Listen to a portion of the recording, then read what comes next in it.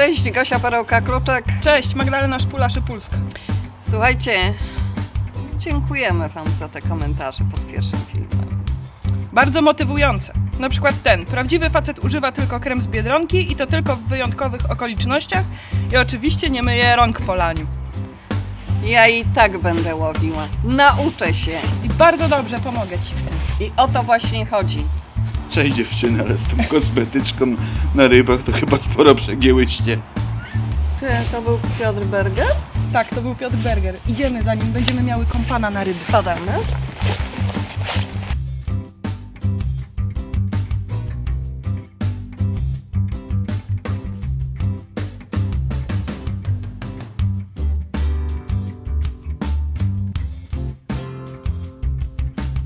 Będę obok. Ja, Dobra. ja jej z oczu nie spuszczę. Super. A my co, rybcia? Słuchaj Perełcia, czy ty w ogóle wiesz, dlaczego takie zanęty tutaj są przygotowane po to, żeby coś zrobić? obsa- Nie, ja tylko wiem, że to są zanęty takie jakieś śmieszne te. no, takie- Dobrze rybcia. Ponieważ jest zimno i ryby zawsze żerują na atraktorach, które są tak zwanymi ostrymi, czyli czosnek, nostrzyk, kolendra. I tymi powinniśmy się skupić na tego typu zapachach, bo na wiosnę praktycznie każda ryba reaguje na coś, ta, coś takiego jak, jak zanęta o właśnie o takim zapachu. Przygotowałem coś takiego jak na przykład kolendra. Drugie, ponieważ o tej porze nie tylko na drapieżniki, ale także na, na ryby spokojnego żeru bardzo fajnie reagują na czerwony kolor. Dlatego dodamy płoć czerwoną. Jeszcze taką kolendrę. Zaraz Ci podam wszystkie proporcje. A ponieważ płotka na wiosnę szczególnie uwielbia coś, co się nazywa konopie, dodamy jeszcze konopie. W tym moim pizdryku, który tutaj trzymam, znajdują się dwie bardzo fajne jakieś masz takie tutaj. śmieci. To możesz można powiedzieć, że to są śmieci, bo po pierwsze, Straszne. zobacz, Słuchaj.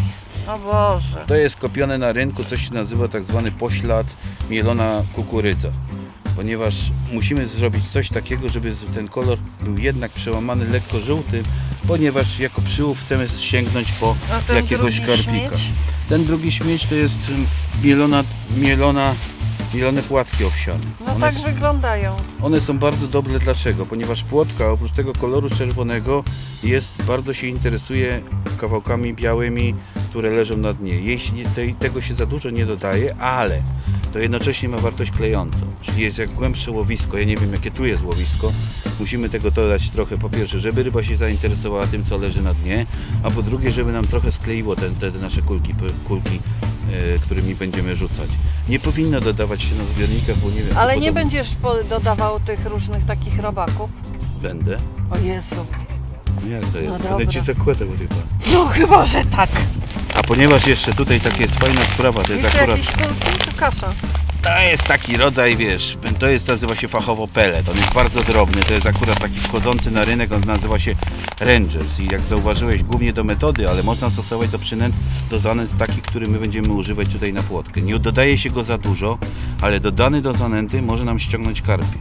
Bo karp w takich warunkach, jak jeszcze pół zbiornika jest w lodzie, może się okazać, że to go ściągnie. No będziemy łapać do wieczora. Dosuwamy cały kilogram do opakowania. To będzie raz. Z zasady nie dodaję więcej, żeby nie przedobrzyć, jak około półtorej garści na półtora kilo. No to zależy jaką się garść ma. No też zależy, no ale Czyli to na jest półtorej swojej twojej garści. na tak? półtorej Dobra. mojej garści. Dobrze. Teraz na takie podobnie jak kolendry dodajemy taką dużą garść konopi tego rangersa peletu.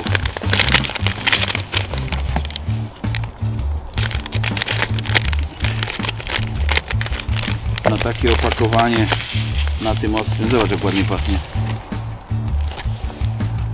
Nie? Pięknie taką rybką. No ładniejsze zapachy. Dobrze. Też nie będziemy szaleć, żeby te ryby się nie potrafiły najeść. Śmieci dodajemy po dużej garści, no taki męski, czyli półtorej garści damskiej albo dwie. Raz. I drugie kukurydzy. Też taką obfitą garstkę. I mamy w pojemniku teraz praktycznie wszystko to, co nam do szczęścia jest potrzebne. Mieszamy to wszystko, zobacz jaką ładną konsystencję. Jaki ma fajny zapach. Oczywiście ty jako kobieta powiesz, że znasz lepsze zapachy, Mhm. nie? I widzisz, teraz masz to przebarwienie. Ale tam jeszcze grudki masz. Gdzie grudki? Tam grudki widziałam przed chwilą. O, widzisz? O. No widzisz, dobrze, że cię mam. Dolejasz mniej więcej 200 ml, 250 ml po to, żeby ją wstępnie zwilżyć, wiesz? Nie lubię tej czynności w takich porach, porach roku. Dlaczego nie możesz dodać więcej? Ze względu na to, że jak dodasz więcej, to ci ta zanęta najzwyklej siecie za mocno zbryli. Przemoczona zanęta nam się nie nadaje absolutnie do niczego. Musimy zaczekać teraz No i- 15 minut, żeby ta, ta e, woda, która się tutaj znajduje w nawet tej niedowilżonej zanęcie, Czyli mamy 15 minut teraz. mamy 15 minut, to dopiero To potem do wartości takiej Idziemy będzie. y, składać wędkę. Idziemy pokażesz. składać wędkę. To jest wiesz, perełka przybornik. To co każdy wędkarz powinien mieć nad wodą, żeby zmontować zestaw. Ja Ci pokażę tylko tak piorunem. Patrz, z jednej strony wygląda to tak, jest tu wszystko. Od zatyczek, od y, stabilizatorów, gruntomierzy, różnego typu zakładek, antenek, etc. i stoperów po jednej stronie. Po drugiej stronie masz podobny zestaw, który też się tutaj składa z różnego rodzaju różnych dziwnych rzeczy. To nam na pewno będzie potrzebne. Teraz mamy spławiki. My będziemy tutaj na tych spławikach, ponieważ woda jest, musimy stosować delikatne spławiki. Jest to sporo samodiełek, ale są tutaj bardzo fajne spławiki. Między innymi będziemy łapać na takiego timka, tylko troszeczkę w innym kolorze. Albo najdobrzej to by było jakby taki jaśniejszy, tego typu. Te spławiczki Timek i, i Ekspert są bardzo fajne, głównie na nich żerujemy. Masz do wyboru do kolorów, w zależności od tego jaka głęboka woda, wtedy stosujemy albo krótszy, albo dłuższy, żeby nam fala nie przeszkadzała. Poza tym mamy zestaw spławików w tak zwanej tubie. Widzisz, najróżniejsze typy, które mogą nam się przydać. Ołówki. Ołów, który będziemy brali do zestawu, żeby miał poopisywane gramaturę poszczególnych elementów. Jak widzisz, tu jest 0,1, 0,2, tak to mniej więcej wygląda. Stile, bo będziemy się nimi podpierać, to mniej więcej tak wygląda. To jest żyłka o bardzo dobrych parametrach, 0,16, 4 kg. Podejrzewam, że większych ryb tutaj nie będzie. Żyłka nano dopiero fajnie wchodzi na rynek.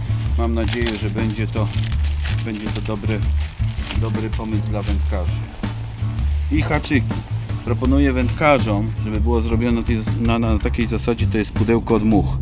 Ale dzięki temu, że ma magnesy, jak coś się wydarzy nieszczęście, albo nawet tak się przesuną, te spławiki po prostu nie wypadają z pudełka. Wygodne, łatwe w użyciu. Do tego naszego wędkowania to jest proca. Taka mała proca, śmieszna. Ona jest stosowana głównie do białych robaków. Jeżeli nie chcemy płaszyć na płytkiej wodzie, bardzo dobrze to robi. Super! Tak trzymaj. Tak ma właśnie być.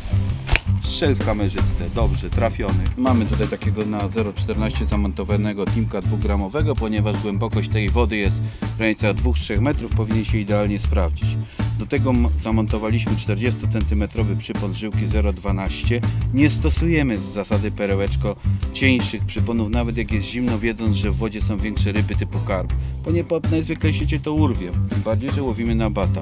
Łączymy przypon z żyłką główną przy pomocy krętliwa. Maleńki Tak, taki maleńki. guziczek, kręci się. I teraz tak, podstawowe obciążenie to jest obciążenie, które tutaj trzymam w ręku, to jest taki rodzaj stila, a może nawet wałeczka, różnie to nazywają. O, widać go tu proszę. Widzisz? Mhm. Montujemy go nad przyponem. No. I ten, o, to obciążenie stanowi w stosunku do tego spławika 2 trzecie wyporności. Czyli z tym obciążeniem, który jest, wisi w, wisi w toni, spławik wystaje nam do takiej wartości. Mhm. Żeby go dobrze dociążyć, a chodzi o to, żeby nam wystawała sama antenka, dokładamy dwa obciążenia na przyponie. Mhm. To obciążenie 0,15, to obciążenie 0,25, mniej więcej tyle, co jest ten odległość, żeby spławik nam do tak zwanej wartości roboczej się odpowiednio na, po- na powierzchni ustawił. Haczyk. Tym to wędkarze mają najwięcej kłopotu. Zobacz, on musi być cienki, ostry, z dłuższym trzonkiem, z bardzo małym mikrozadziorem, ponieważ naszą przynętą będzie pinka i ochotka. Jakby No to zastosowane, wiesz, jakby ten zadziorek był większy, to przy każdym zakładaniu ochotki wyjdzie z niej ta, ta, ta czerwona treść i ochotka przestanie być atrakcyjna na ryb, dla ryb. Rozumiesz? Rozumiem. Zobacz, jaka ona jest w tej chwili przesuszona, No. widzisz? Jest przesuszona. I tą zanętę teraz musimy dowilżyć do tak zwanej wartości roboczej, czyli mówiąc cokolwiek Czyli to do znaczy ciasta. do ciasta, żeby ta zanęta nam doszła. Tej wody też bardzo ostrożnie wsypujemy, wlewamy. Tą wodę też bardzo ostrożnie wlewamy. Staramy się to zrobić w miarę dokładnie. I teraz bardzo istotna sprawa to jest to, że ta zanęta, która już w tej chwili będzie dobrze wymieszana, nie powinna mieć grudek. Cały czas powtarzam, że robimy wersję lightową, bez wszystkich dodatków, między innymi jak sito. I jak sito do przesiewania zanęty, ale wydaje jest to bardzo fajnie, jak widać konsystencja jest fajna i teraz patrzymy jak się kleją kule. To jest metoda czteropalcowa, kula wygląda tak, mniej więcej, nie musi być super. I teraz jak fajnie sprawdzić na takim płytkim zbiorniku, czy ta kula została, do, ma dobrą konsystencję. Trzeba Zobacz. ją rzucić do wody. Nie, rybcia. Jest taka, mówią, że patrzą, rozpadanie kuli to jest jedna rzecz, a konsystencja, czyli zwartość tej kuli to jest druga. I robimy taki prosty numer. Z odległości jednego metra opuszczamy ją na glebę. I teraz zobacz, ta kula upadła na glebę z wysokości jednego metra. Ta kula ani się nie spłaszczyła, czyli miałaby wtedy za dużo wody, ani nie rozsypała, czyli miałaby za, za mało wody. Ona ma prawo pęknąć na pół, ale nie ma takiej możliwości, żeby się rozsypała na wiele kawałków, albo że po prostu Czyli albo jest się. I Jest w sam raz, czyli wody w tym momencie Piotruś, więcej no nie potrzeba. jesteś rewelacyjny. Ta rewelacyjny, proszę Cię, kurczę, chodźmy na kawę lepiej. Na, na tą zanętę, którą przygotowaliśmy w zupełności wystarczą dwa pudełka, takie małe pinek. Poproszę jeszcze jedne, żebyś mi podała. I teraz jeżeli między pinkę dodasz ochotkę, to będzie dodatkowy impuls dla ryb Czyli taka i wie- kanapka? smaczek, taki smaczek, to powiedzmy tak jakbyś jadła no, kiełbasę z grilla bez musztardy. To jest właśnie ta musztarda. Dodatkowy powerek, który po- podwyższa smak tej, tych naszych pinek z zanęty. Mhm. No dobra. I to już wszystko, czy jeszcze coś? I wszystko.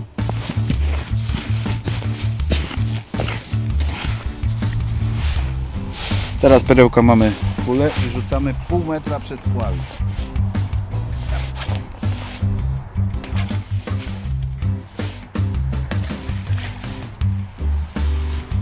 No i widzisz, teraz będziemy zakładać przynęty, ponieważ nie będę świntuchem i każę Ci zakładać te Twoje ulubione pinki robacco, więc ja Ci pokażę jak to się robi. Ja Cię lubię. No ja się cieszę z tego względu. I teraz zobacz. Ja przekonałem się, że najskuteczniejsze zakładanie jest tak, tego pinka pierwszego przekładamy wzdłuż, naciągamy go na haczyk. Widzisz jak on No. wygląda? Jak koralik. Jak koralik. No wiesz, a propos zakładania przynęty i do drobnej typu ochotka i, i pinka jest 100 tysięcy wersji. Każda jest słuszna, każdy wędkarz powie, że robimy to nie tak. Zakładamy ochotkę. Najpierw założymy tą ochotkę standardowo, czyli pod tak zwany łebek, czyli ten czarny element, jak widzisz, ochotka ma dwa końce. Jeden jest jasno-czerwony, a drugi jest ciemniejszy. To jest jej łebek. I wsadzamy, pod, przebijamy jednopunktowo pod ten bebek. Zakładamy jedną. Widzisz, tu jest dobrze teraz widać, zwróć uwagę.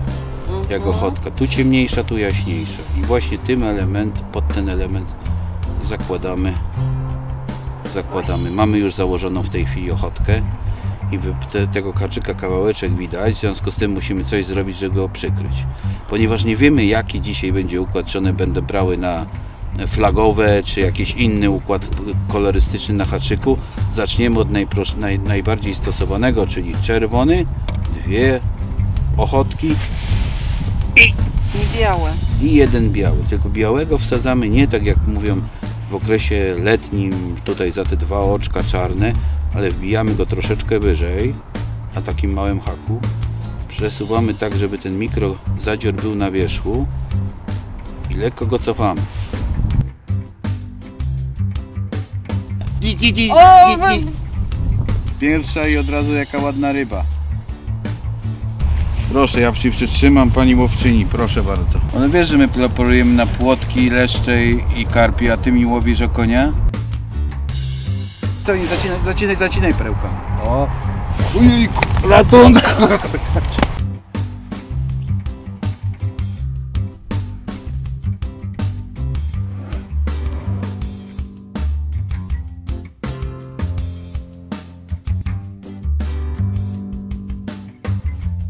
Sumie wyjęliśmy dużo ryb, niewielkich. Szkoda, że nie wyszedł żaden karpik, ale myślę, że na to jeszcze przyjdzie czas później. E, No i szkoda, że perełka mnie zostawiła. No, ale myślę, że następnym razem już będziemy miały więcej czasu dla siebie, bo postać, z jaką miała szansę powędkować, jest naprawdę interesująca.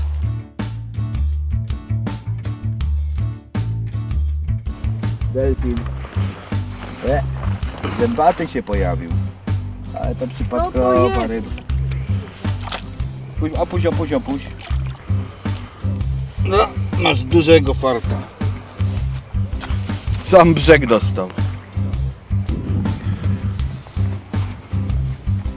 No, I do farciarko. wody. Dziewczyny się spisały. Panowie, ja polecam jedną rzecz. Kobieta nad wodą jest naprawdę super. To nie bojcie się swojego, wycofajcie ze swojego szowinizmu. Kobieta łagodzi obyczaje i jest bardzo dobrą wędkarką. Takie jest zdanie. Przypomnijcie sobie, że pani Ballantyne złowiła w naszej historii największego łososia, ponad 33 kg i jest do tej pory żaden mężczyzna jej nie pobił. To by było na tyle. Dzień jak dzień, każdy widzi warunki trudne. Auć, auć. Warunki trudne było w sumie, w sumie złapaliśmy kilkanaście metrów drobnej płotki i takich innych okonków. Tutaj obecna perełka walnęła szczupaka, który za akcie rozpaczy potrafił się zaczepić nie dość żyłki, nie obciął. Wydaje mi się, że ja od tej pory z kobitkami będę łowił. Na pewno wolę kobitkę w bikini od faceta nad wodą w gumofilcach. I to jest moje podsumowanie. A na koniec, moi drodzy, ogłaszamy konkurs. Róbcie zdjęcia waszych kobiet w trakcie wędkowania i wysyłajcie je nam tu na tego maila na, ten dole mail. do końca maja. A przecież będziecie wędkować w czasie Majówki. Majówki. Na pewno będzie dużo okazji. A w zamian za to o, mamy dla was pięć nagród. Pierwsza nagroda, moi drodzy, kolczyki zrobione przez Grzegorza Nałęcza. Drugi, drugie miejsce, ten piękny szczupaczek zrobiony przez e, Real Trophy. I słuchajcie, mamy też jeszcze dla was nagrodę od Browninga. Rozmiar M. MK, także na pewno na kobietę będzie pasować. Do tego mamy Crazoli, taką fajną czapeczkę i ganki, daszek na słoneczne dni. Także słuchajcie, róbcie zdjęcia, wysyłajcie, wybierzemy najlepsze i powiem wam, że te kolczyki naprawdę chciałabym mieć. Pewnego wieczoru moja małżonka podchodzi do mnie i mówi tak. Może byś stworzył niekoniecznie muchę, ale coś, co by prezentowało się fajnie na moim uchu. Może by to było fajnego. No i można powiedzieć, po jakimś czasie stworzyłem coś. Zakłada na ucho, mówi, świetnie, zrób mi drugą, bo to nie jedna, to nie wystarczy, tak? Historia jest taka, że stworzyłem już tego kilkaset. Jest to przykład niejednego wieczoru siedzącego, jak dla mnie, ale jest historia siedzenia, powiedzmy, i mojego hobby dziesięcioletniego, jaką spędzam nad wodą. I myślę, że to jest fajna nagroda za czas, w którym na przykład nie jestem w domu. Tu na przykład te ważki. Wiadomo, każda ważka jest inna, w innych kolorach, latająca, nie wiem, zieleń, żółta, fiolet, są różne kolory, ważek, także akurat to jest imitacja ważki, ona jest wykonana jest, jak widać, e, bardzo realistycznie, ma oczy, jest dociążona, tak żeby się mogła fajnie reprezentować. Tutaj mamy myszkę, imitację myszy, która prezentuje się bardzo też fajnie. Tu jest bardzo też fajny, sympatyczny, ciekawy akcencik z doborem piór, z doborem sztucznych takich tych, które mogą się podobać. Tu też mamy też e, z samych piór e, z akcentem tam troszeczkę trochę sztucznych dodatków, jak wykorzystujących się w biżuterii, tak? Myślę, że to jest fajny sposób dla wykorzystania naszego hobby, a kolczyków dla naszych par. Myślę, że to zda relację i bardzo fajny prezent będzie.